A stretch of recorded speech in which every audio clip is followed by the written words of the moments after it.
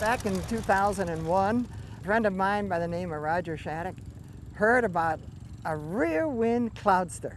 This original airplane was produced in 1940. We were able to obtain the production worksheets and the flight test records and, and so on, all of which are really based here at uh, Blakesburg at the Air Power Museum in the files over there. We were able to find out how the, the original paint scheme, color, and things of that sort, what the options were in the way of the equipment that was on it. And we pretty much followed all of that to form with the intent of not making it an absolute outstanding looking airplane, but more have it a really good representation of the model and the make. And I, I think we uh, achieved that thanks to uh, all of the efforts of everybody involved around the country, really. So on uh, June 1st, 1940, the airplane first took its test flight by Billy Miller. We were shooting to make June 1st, 2009, its second test flight, but we couldn't quite make it. However, we did do the test flight on June 13th.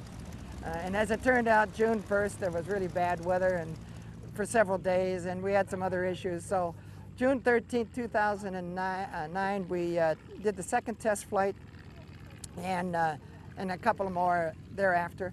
And then we actually took it back into the shop after that to finish painting and, and cleaning up. We had some oil leaks, as everybody knows, and there's always some other issues that go along with that.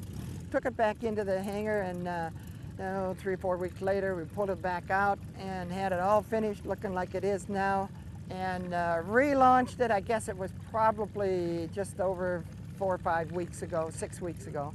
And right now we got um, maybe 25 or 30 hours on it.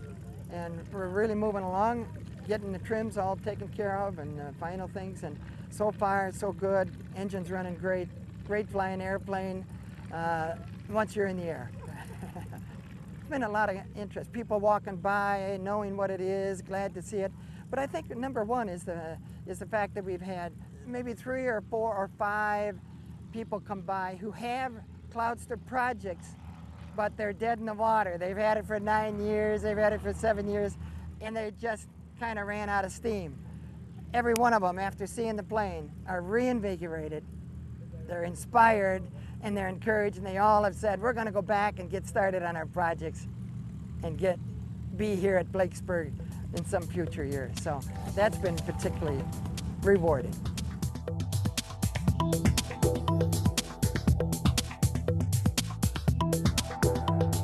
Aero TV is brought to you by Cirrus Design's Vision SJ50 single engine personal jet offers exceptional fuel efficiency, flexible seating for up to seven, advanced avionics, and all the Cirrus safety features you expect, including the Cirrus airframe parachute system.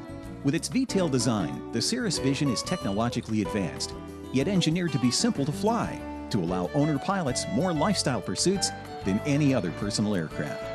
Learn more about the Vision SJ50 at cirrusdesign.com.